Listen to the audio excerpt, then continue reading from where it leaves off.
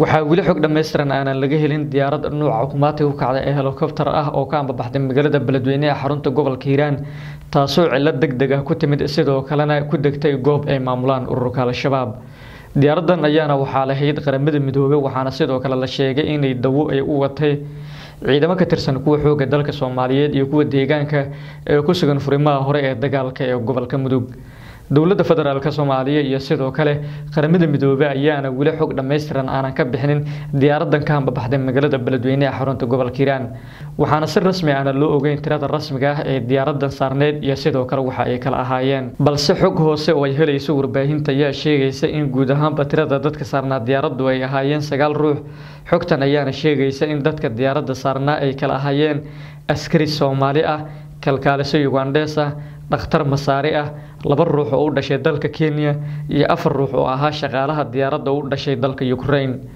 Wararkan la xaqiijin ayaana sheegaya in al-shabaab ay dishay dhakhtarkii masaarida ahaa halka askariga soomaaliga iyo kalkaalisadii ugandheska ahaydna ay ka baxsadeen goobta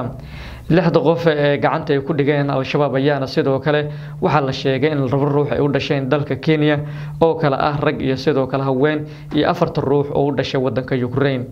Xiriir lala sameeyey dowlad goboleedka galmudug weli ma ayna sheegin ilaa iyo haatan wax warar ah oo laga helay labada qofood ee baxsaday oo aysan soo gaarin deegaanada ay ka arimayaan dhinaca kalena wasiirka warfaafinta dowladda federaalk soomaaliya daa-uud aweys jaamac oo la hadlay warbaahinta ayaa waxa uu sheegay inay socdaan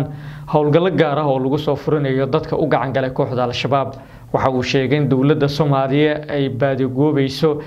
dadkan markaasi u gacan galay kooxda al-shabaab iyo sidii markaasi looga soo samata bixin lahaa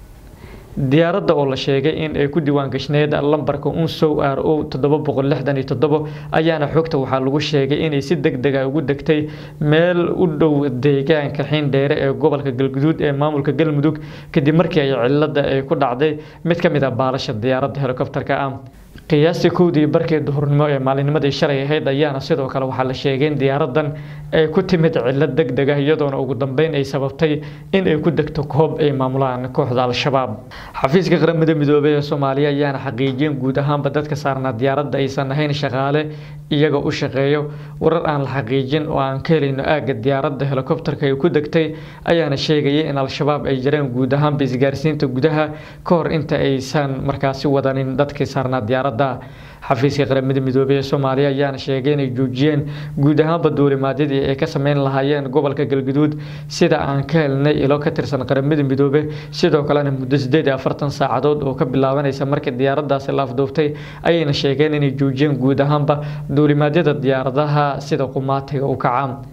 waxaa la sheegay in diyaaradan ay waday dawo iyo sidoo kale shaqaale caafimaad oo doonayay inay gargaar u fidiyaan ciidamada ku sugan furimaha dagaalka. Ciidamada nabad ilaalinta midowda afrika ee admis ayaana waxaa la sheegay in heegan buuxa la geliyey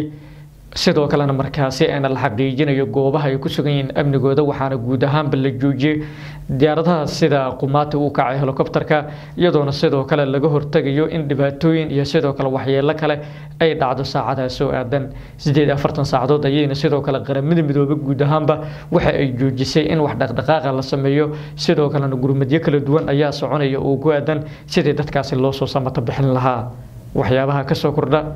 hiraan weyn ayaad kala socon doontaan